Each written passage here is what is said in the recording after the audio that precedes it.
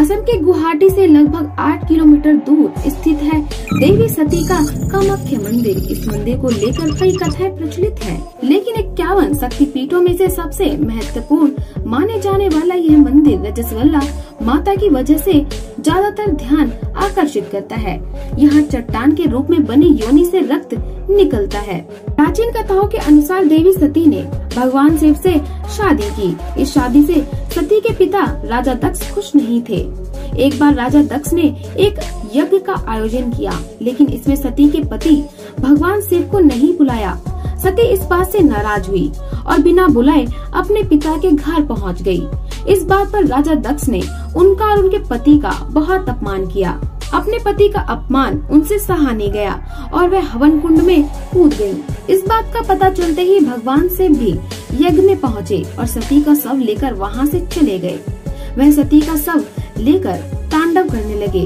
उन्हें रोकने के लिए भगवान विष्णु ने सुदर्शन चक्र फेंका। इस चक्र से सती का शव इक्यावन हिस्सों में जाकर कटकर जगह जगह गिरा। इसमें सती की योनि और गर्भ इसी कामाख्या मंदिर के स्थान यानी नीलांचल पर्वत पर जा गिरे।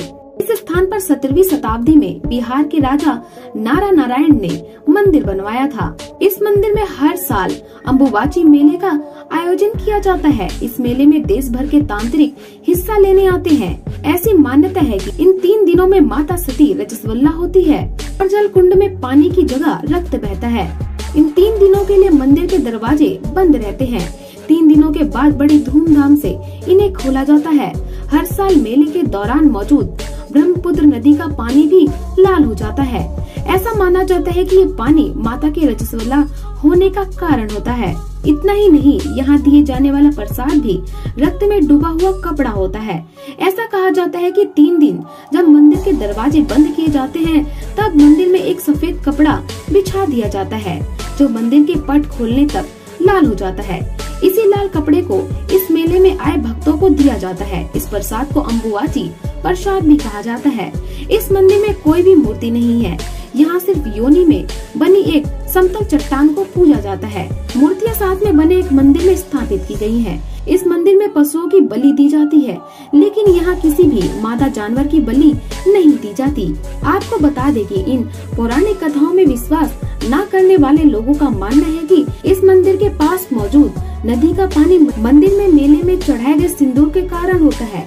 या फिर ये रक्त पशुओं का भी होता है, जिनकी यहाँ बलि दी जाती है। खैर, सच्चाई जो भी है, इस मंदिर के आकर्षण का केंद्र रजस्वल्ला रक्त की पूजा है, जिसे देखने यहाँ हर साल बहुत लोग जाते हैं। तो दोस्तों, कैसी लगी आपको हमारी ये वीडियो? आप हमें कमेंट बॉक्स में कमेंट करके ज़रूर बताएँ।